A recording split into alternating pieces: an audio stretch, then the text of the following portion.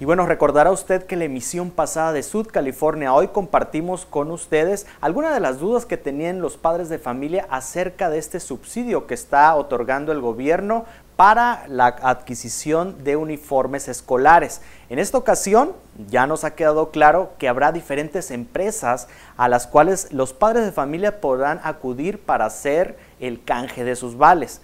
En esta ocasión la gran pregunta es, ¿cómo elegir a la empresa particularmente cómo vamos a elegir un uniforme de calidad. Pues precisamente esta es la información que hoy les compartiremos con ustedes. Primero, que los uniformes, el precio de los uniformes no está relacionado directamente con la calidad, es algo que usted lo tiene que tener muy claro. La calidad del uniforme depende de una mezcla de fibras, que es lo que hace la pieza duradera. Vamos a compartir esta información con ustedes sobre cómo elegir un uniforme de calidad. El gobierno del estado celebró un convenio con distintas empresas para subsidiar uniformes a los ciudadanos. Es importante señalar que el vale no cubre la totalidad del uniforme y que la gente podrá escoger el proveedor que mejor le convenga entre las distintas empresas participantes. Es un programa muy ambicioso, de grandes dimensiones, entonces llevaba su complejidad aterrizarlo hasta el punto en que se logró el día de ayer. Eh, se aterrizó en buenos términos, el convenio nos obliga a nosotros, empresas, a, caminar con un proceso. la Secretaría de Educación Pública entregará a través de las escuelas este vale, que tiene un valor nominativo de 325 pesos, ya con el IVA incluido, lo cual nos representa a las empresas un valor de 292 pesos. Es importante aclarar también de que este vale, en la mayoría de los casos, no va a cubrir el importe total del valor del uniforme, que el uniforme se compone de pantalón y camisa, o falda y blusa, o jumper y blusa, ¿no? en el caso de las diferentes escuelas. Este programa es única y exclusivamente para las escuelas de gobierno primarias, únicamente primarias, de primero a sexto de primaria. La Secretaría de Educación Pública, por su parte, ya está haciendo la difusión de cuáles somos las empresas que estamos participando. Eh, las empresas propiamente estarán haciendo sus promociones, su, difusión de dónde están sus, negocios. Y nosotros por nuestro lado lo que hicimos es que somos un centro oficial de canje. Entonces la gente va a poder ubicarnos como centro oficial de canje.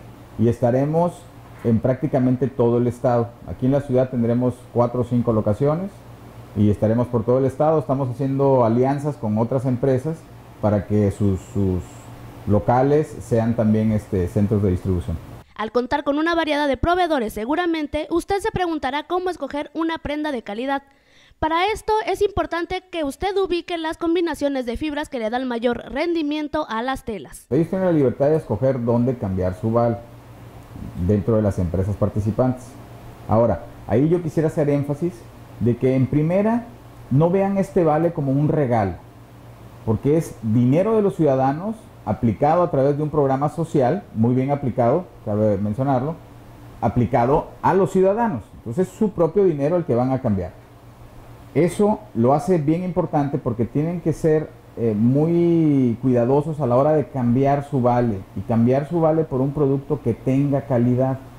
No tendría sentido cambiar este vale por un producto de mala calidad porque entonces al muy poco tiempo el niño ya no tendrá uniforme y entonces ese gasto eh, no fue bien aplicado, pues se convirtió en un dinero mal gastado. ¿Cómo ubicar un buen producto? Okay. Cuando se habla de un uniforme, son prendas que tienen lavados periódicos, hay que buscar una combinación de tejidos. Entonces, el, algodón, que es un tejido que, es muy buscado, eh, siempre que sea uniforme, tiene contenido muy similar con poliéster, porque el algodón por sí solo se afloja y pierde el color. Es muy importante que revisen la etiqueta de la composición de la tela. Tienen que buscar que sea un 45-55, estamos hablando de poliéster algodón, un 60-40 o un 55-45. Pero que siempre sea una mezcla de poliéster algodón, porque eso le va a dar una vida mucho más larga, un color nítido por mucho más tiempo eh, que seguramente les durará todo el año. El empresario sudcaliforniano aclaró que va a existir un desabasto temporal de uniformes en tanto las empresas fabrican la cantidad demandada. Asimismo, invitó a los padres de familia a realizar la mejor compra. Nosotros como empresa hemos hecho un esfuerzo grandísimo por manejar nuestro producto a un costo muy muy accesible. Pues habrá empresas que van a cobrar 90 pesos de diferencia, habrá otras que van a cobrar 80 y tantos, otras van a cobrar 70 y tantos. En el caso nuestro solo vamos a agregar 20 pesos, que es para compensar un poco la diferencia que existe ahora porque el, monto del vale ya incluye el IVA. Entonces, en realidad el valor de lo que nosotros nos está pagando el gobierno son 292 pesos. Entonces, para compensar un poco tuvimos que agregar estos 20 pesos. Eh, eso es parte de lo que la gente tendría que analizar, ver las calidades y ver dónde es que la calidad es competente y el precio es competente para ellos. Se informen dónde están los centros oficiales de canje. Dos, que hagan el chequeo del producto. Tres, como es la primera vez que se desarrolla el programa, pues obviamente surgen deficiencias, ¿no? Que se tienen que depurar. Eh, ¿Cómo depurar la cuestión de las tallas? Tienen que acercarse a estos centros, verificar la cuestión de las tallas y algo muy importante, va a existir un lapso de desabasto. Eso es muy importante porque como el contrato se firmó hasta ayer, tienen que entender que para las empresas participantes es muy complicado tomar la decisión de traer una cantidad tan grande de uniformes sin haber firmado un contrato con anticipación. La vida en los ranchos californianos ha estado presente en Francia, en Canadá, la vida de los otros californios. Así se titula la ópera prima de César Talamantes y estará aquí en el Teatro de la Ciudad el primero de septiembre. Asista a ver esta interesante fotografía de lo que es la vida rural de Baja California Sur. El próximo primero de septiembre será la premier del largometraje Los Otros Californios en el Teatro de la Ciudad en punto de las 7.30 pm, ópera prima del cineasta sudcaliforniano César Talamantes. Esta obra fue el mejor documental mexicano y mejor ópera prima en el quinto Festival Internacional de Cine Documental en la Ciudad de México. También ha sido presentada en Francia y Canadá. En entrevista para Sud California Hoy, César Talamantes nos dijo lo siguiente. Lo importante que yo vi para hacer esta película es mis raíces, Mis raíces son las que están atrás. Eh, tenía yo recuerdos de, de infancia, de tiempo que había pasado en los ranchos, y rancheros que había conocido que me habían dejado una impresión muy, muy, muy noble, muy, muy bella, en pocas palabras. Y era la de gente muy sencilla que te recibía en su lugar, de, en su vivienda, sin muchos recursos, pero, pero abriéndote los brazos. No solo se queden con una visión de lo que yo digo, sino que ustedes mismos aporten con sus propias ideas y su propia visión a describir, criticar, analizar una película para mí, eh, siendo sincero, yo lo único que quiero es que la vean y que la vea la, mayor cantidad de gente porque sé que toca fibras muy sensibles de nuestras raíces, de nuestra manera de ser y que eh, estaría muy complacido si esto que en esencia toca la película llega a conmovernos. Porque en estos tiempos, por ejemplo, eh, en que vivimos, pues hace falta de repente eh, ver gente que vive con entusiasmo. Así que invitamos a la ciudadanía en general a que asista a ver este documental el primero de septiembre en el Teatro de la Ciudad a las 7.30 de la noche y aprecien el arte, pero sobre todo vean las raíces de nuestro pueblo sudcaliforniano. Para Sud California Hoy con imagen de Valentina Melgar. Información y voz de Esperanza Gutiérrez.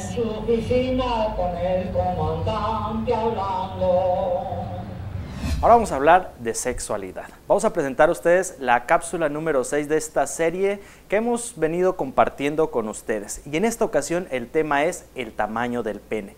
Un asunto que ha motivado una serie de investigaciones que han tratado de relacionar el tamaño del pene con la capacidad de dar placer sexual, pero también la relación que existe en la posibilidad de cumplir esa función biológica que es la reproducción. Vamos a compartirles el conocimiento del especialista, el sexólogo Alejandrino de la Rosa. Basados en el mito de que un pene de mayor tamaño provoca más placer a la pareja, se han realizado distintos estudios que han especulado sobre la relación del tamaño del pene y el placer sexual. Sin embargo, no debemos olvidar que el pene cumple una función biológica que es la de depositar el esperma en el interior de la vagina. Según especialistas, el tamaño del pene sí puede ser determinante en algunos casos para complicar la función reproductiva y en otros afectar la estimulación sexual. El pene es un órgano que permite precisamente la estimulación del área genital de la mujer y permite que se puedan depositar en el interior de la vagina los espermatozoides durante el acto sexual. Entonces, el tamaño puede ser importante si es demasiado grande o si es demasiado pequeño. Es algo que generalmente se cuestiona mucho porque en muchos hombres se tiene la idea de que se es más o menos de acuerdo al tamaño del pene. Sin embargo, el 95% de los hombres tenemos un tamaño promedio, o sea, no hay mayor problema. Claro, si el pene es demasiado corto, digamos de menos de 5 centímetros, pues sí pudiese ser un problema, eh, no nada más la relación sexual, sino el, el depósito del esperma dentro de la vagina. El especialista indicó que el tamaño promedio de un pene es de entre 10 a 13 centímetros, lo que a la mayoría de los hombres produce gozar su sexualidad sin ningún problema. Para Sud California Hoy, con información de Vladimir Torres, imagen de Samuel Domingo y en la voz, Esperanza Gutiérrez. Una de las tradiciones que recuerdan los paseños es el fútbol de barrio, en la calle con la palomilla que se reunía en las tardes a jugar. En esta ocasión, las cámaras de Sud California hoy visitaron la colonia Agustino Lachea para conocer esta nueva forma del fútbol de barrio ya en esta capital. El deporte es una recreación sana que nos mantiene ocupados, pero que sobre todo ayuda a nuestra salud y a nuestro bienestar, además que nos mantiene alejados de los vicios. En la colonia Agustino Lachea se organizan torneos de fútbol en los cuales participan diferentes equipos, entre los que se encuentra el de Transportes Duvernay. En entrevista para Sud California Hoy, uno de los integrantes y fundadores de este equipo nos platicó lo siguiente. ¿Cómo se llama el equipo en el que juega? Transporte Duvernay. ¿Y cuánto tiempo lleva formado? Seis meses. ¿Cada cuánto juegan? Todos los domingos. Todos los domingos. ¿Y este cómo les ha ido? ¿Por qué decidieron crear este equipo? Pues mi hermano me dijo que metiéramos un equipo aquí y, pues dije que sí. Pues todos son, son de por la casa pues y todos nos conocemos. Para Sud California hoy con información, imagen y voz de Esperanza Gutiérrez.